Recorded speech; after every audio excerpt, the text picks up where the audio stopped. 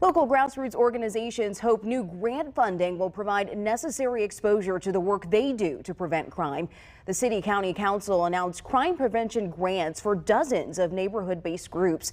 District 14 Councilor Lakeisha Jackson says these organizations have extensive knowledge of the needs in the neighborhood.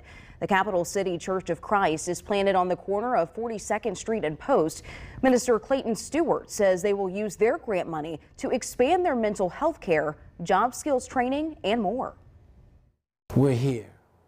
We're stable, we're visible, we're open, and we're willing to do whatever we possibly can, obviously within reason, what's in our capability. Another round of crime prevention grant funding is going out in the fall.